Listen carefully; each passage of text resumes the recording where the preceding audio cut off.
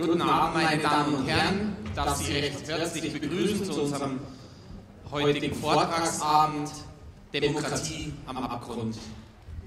Danke nochmal für Ihre Geduld. Wir konnten selber nicht wissen, dass es so voll wird. Wir haben es gehofft. Deswegen hatten wir einfach etwas Verzögerung. Zu Recht. Aber ich denke, es lohnt sich, am heutigen Abend Professor Dr. Mausfeld zum Thema Demokratie zu hören. Mein Name ist Tobias Ruff, bin Landesvorsitzender der ÖDP und Fraktionschef im Münchner Rathaus. Wir haben zu dem Abend eingeladen, weil die Demokratie eine der tragenden Säulen unserer Partei ist. Die Ökologie und die Demokratie. Sie kennen uns von zahlreichen Volksbegehren Bürgerbegehren. Wir haben den Senat abgeschafft, den Nichtraucherschutz etabliert und wir haben Rettet die Bienen geschrieben und gewonnen. Wir sind die Partei der direkten Demokratie. Wir wissen aber auch, dass zur Demokratie Transparenz gehören, Glaubwürdigkeit und eine Bevölkerung, die hinter ihr steht. Wir wissen, dass Eliten und Geld, wenn sie sich allzu sehr in die Demokratie einmischen, sie gefährden. Deswegen sind wir auch die Partei, die keine Spenden nimmt. Keine Spenden von juristischen Personen. Weder von Verbänden und noch eins Verbände, die uns politisch nahestehen, noch von Unternehmen. Wir sind konzernspendenfrei.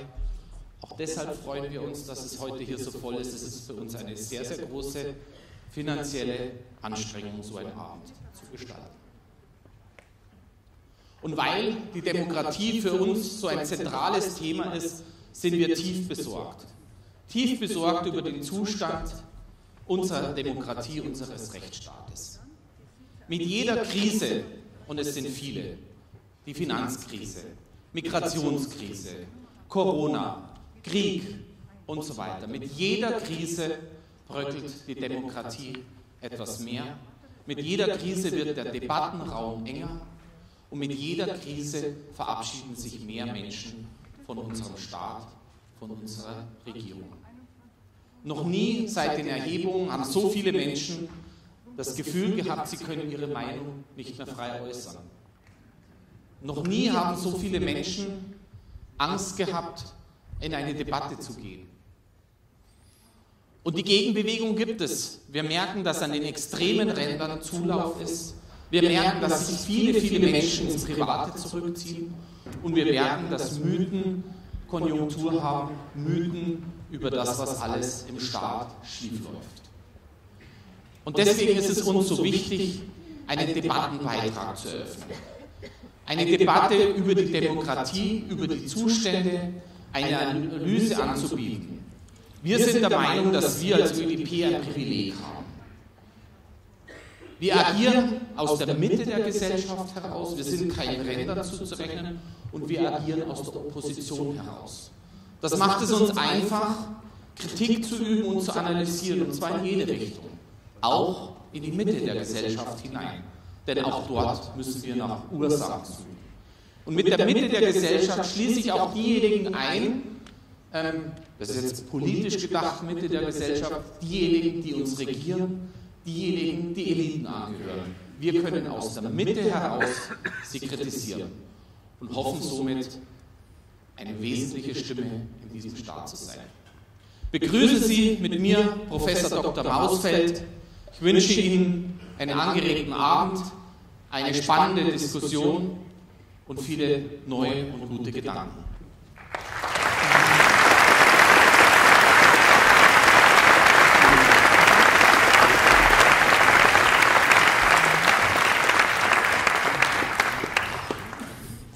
Ja, ich begrüße Sie auch ganz herzlich. Danke Ihnen für Ihr Interesse, den freundlichen Empfang und bedanke mich auch für, bei der ÖDP für die Einladung äh, hier nach München. Worum geht es heute Abend? Demokratie am Abgrund. Es geht offensichtlich um Demokratie und Abgrund. Demokratie ist ein ist etwas, was uns vertraut ist, auch wenn eigenartigerweise die meisten nicht wissen, was eigentlich damit gemeint ist und aus welchen Gründen eigentlich die Demokratie seinerzeit erfunden wurde. Abgrund in unserem Zusammenhang ist etwas einfacher. Abgrund bedeutet hier zivilisatorischer Abgrund, also Abbau von zivilisatorischen Errungenschaften, ein Rückschritt, ein Rückschritt in die Barbarei und in eine Herrschaft des Stärkeren. Das könnte in modernen Formen durchaus unsere Gegenwart charakterisieren. Denn die Welt ist wieder einmal aus den Fugen. Das Bedrückende, Beunruhigende ist, dass ein Großteil der Bevölkerung gar nicht mitbekommt, dass die Welt aus den Fugen ist und dadurch auch nicht sonderlich beunruhigt ist. Und wenn alle mitbekämen, was los ist, könnten sie durch Wahlen nichts daran ändern. Das klingt vielleicht schockierend, ist aber nicht mehr als die alte, eine frühe Einsicht emanzipatorischer Bewegungen, die sich in dem Satz kristallisiert, wenn Wahlen etwas ändern könnten, wären sie längst verboten. Egal ob sie egal ob Sie diesen Satz jetzt der feministischen Anarchistin Emma Goldman zuschreiben oder Tucholsky, die das wohl erstmals in dieser Formulierung äh, gesagt haben. Wenn das so ist, haben wir eigentlich allen Grund zur Hoffnungslosigkeit. Dagegen steht freilich, dass wir dieses Gefühl der Hoffnungslosigkeit verwandeln müssen in eine emanzipatorische Veränderungsenergie. Und wir müssen es nicht nur verwandeln, wir können es auch darin verwandeln. Das ist sozusagen die Kurzzusammenfassung dessen, äh, worum es heute Abend geht. Nun hätten Sie es wahrscheinlich gerne etwas detaillierter. Fangen wir also an mit dem Wort Demokratie und mit der, mit der Demokratie. Hans Kelsen war einer der bedeutendsten Verfassungsrechtler des vergangenen Jahrhunderts und er nannte Demokratie als das missbrauchteste Wort der politischen Ideengeschichte. Das kann natürlich nur kollektiv und gemeinsam und in kleinen Schritten passieren. Wie kann man wieder kollektiv einen Außenstandpunkt zu diesem hermetisch abgeschlossenen ideologischen Gewölbe finden? Ich will Ihnen ein paar Stichworte nur, nur damit man überhaupt eine Richtung hat, was geschehen muss. Wir müssen überhaupt wieder Ziele von einer gerechten, wohlgeordneten Gesellschaft formulieren.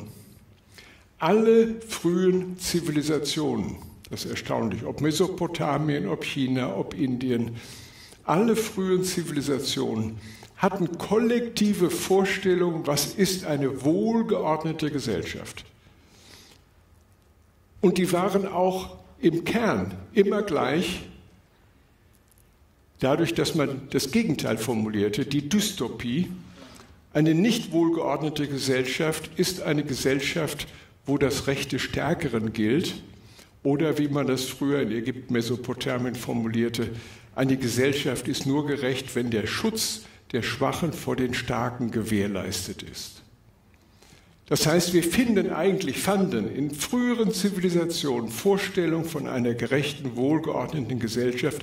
Diese Vorstellungen sind uns heute verloren gegangen. Wir müssen also überhaupt erst mal wieder Ziele formulieren, Denn Sie wissen, wer das Ziel nicht kennt, kann sich auch im Weg nicht irren.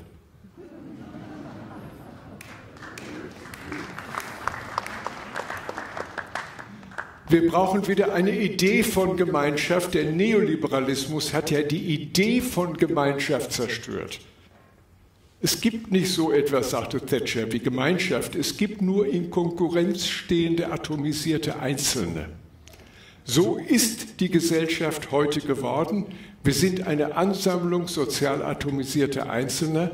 Es gibt die Idee eines kollektiven Handlungssubjekts, wie es Anfang des letzten Jahrhunderts die Arbeiterbewegung noch hatte, in, durch Gewerkschaften, durch Parteien, die hatten eine kollektive Identität als ein kollektives Handlungssubjekt.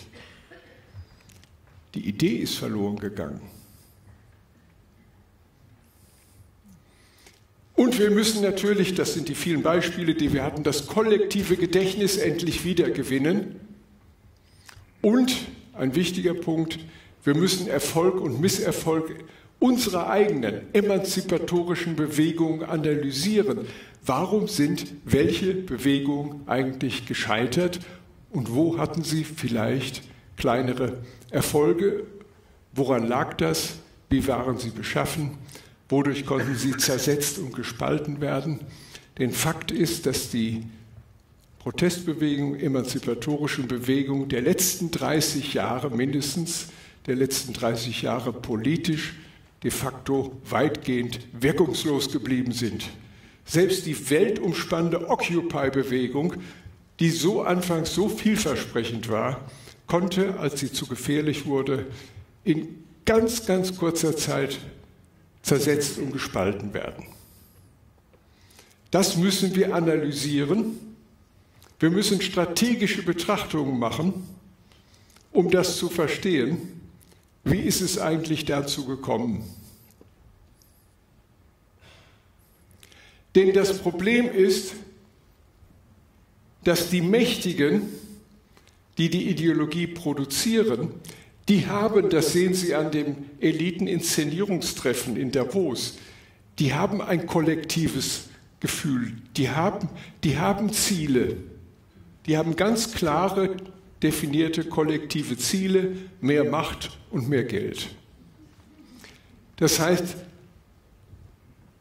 wer die Kapitalmacht hat, Thinktanks zu betreiben und NGOs und Stiftungen und so weiter und so weiter, auch Deutschland ist voll mit solchen Stiftungen, werden sogar vom, von der Bundesregierung finanziert.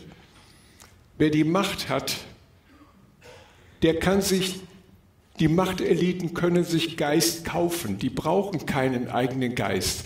Die brauchen keine eigenen Mühen um ein kollektives Gedächtnis. Die kriegen ihr eigenes kollektives Gedächtnis aus Thinktanks präsentiert. Die kriegen ihre eigenen Strategien aus Thinktanks präsentiert. All das haben wir nicht. Das heißt, wir haben einen gewaltigen strategischen Nachteil, bei dem, wenn wir wenn wir emanzipatorische Kämpfe organisieren wollen.